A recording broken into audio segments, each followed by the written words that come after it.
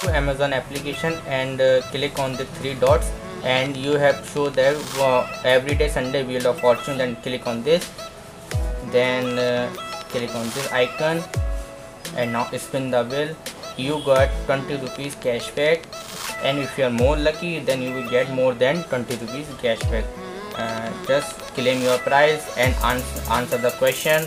Then after that click all of these and you get a cashback voucher just collect now and send money. If you send rupees 1 from amazon pay upi and you get 20 rupees cashback instantly in, your amazon pay balance. Thank you very much. Follow me for more money earning tips.